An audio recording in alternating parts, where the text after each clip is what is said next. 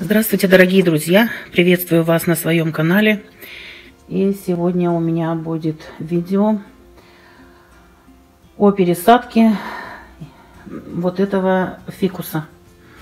А, вернее, вот смотрите, в этом горшке у меня растет целых 4 молодых побега. Ну, 4 побега ни туда, ни сюда. И причем из них а, один вот такой вот длинненький. Вот он, видите?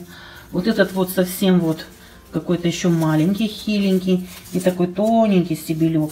А, второй тоже не сильно большой, но вот этот более-менее, но тоже еще. И вот эти три, как бы, я их оставлю в этом же горшке. А вот этот я отсюда выкопаю. И попытаюсь а, сплести их с другими.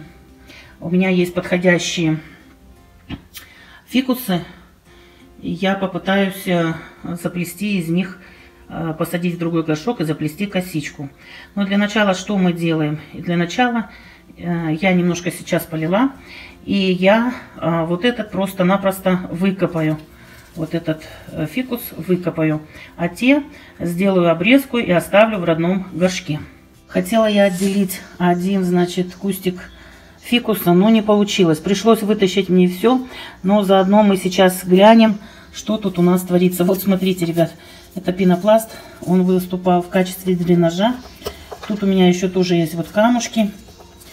Вот. Вот. Ну вот теперь сейчас я уже здесь в открытом на столе как бы разъединю это все. И те три куста заново посажу а, в этот же горшок. Так, из этой земли я убрала в качестве дренажа пенопласт, а добавила ореховой скорлупы и камни, которые там на дне. Это оставила все. Сейчас немножко небольшой слой земли. И обратно, вот я их разделила. Вот видите, какая у них корневая система. Этот, который один, я буду отделять. А вот эти вот три буду сажать сюда. Обратно. Сейчас я их это все посажу. Так, вот смотрите, друзья. Я их посадила. Здесь оставила довольно-таки большой зазор. А, для того, чтобы можно было после усадки еще чуть-чуть подсыпать земли. А, потому что часто замечаю, а, бывает, что у фикуса оголяются корни вот здесь сверху. Это бывает. И я посадила их поближе, так как я планирую в дальнейшем их заплести.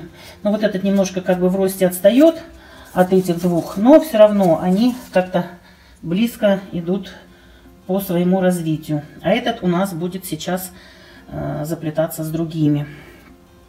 Теперь что я сделаю? Сейчас я пролью эту землю, чтобы хорошо все пропиталось. Один раз пролью. И немножечко-немножечко сделаю подстрижку. В крайнем случае здесь сильно делать ничего не надо.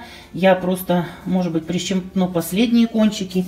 И, может быть, снизу там удалю там по ну, какие-то даже, может быть, их и удалять. Ну, вот эту можно вет, листики удалить, нижние вот эти, например, нижние, которые слишком низко, и в дальнейшем они нам не понадобятся. Их можно сразу удалить, чтобы они нам и дальше не мешали.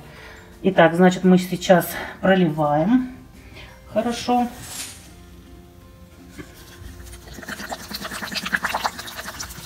Так, проливаем. Может быть, я еще разок пролью. Вот. Нормально. Петлит весь сверху здесь.